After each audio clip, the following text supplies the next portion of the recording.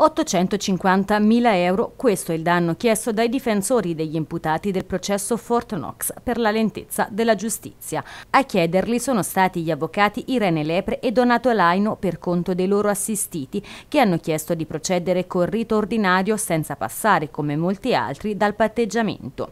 I legali hanno infatti depositato un ricorso alla Corte d'Appello di Firenze chiedendo l'equa riparazione del danno per la violazione del termine ragionevole del processo secondo secondo la legge Pinto.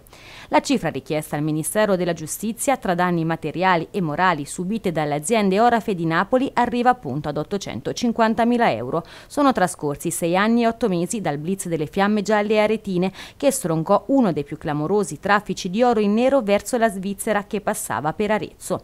Un tempo giudicato dagli avvocati una vessazione nei confronti dei loro assistiti. Nel corso del blitz della finanza vennero infatti sequestrati 12 milioni di euro e ancora 8 non sono stati restituiti. Questo avrebbe comportato gravi danni economici alle loro aziende costringendoli in pratica a chiudere.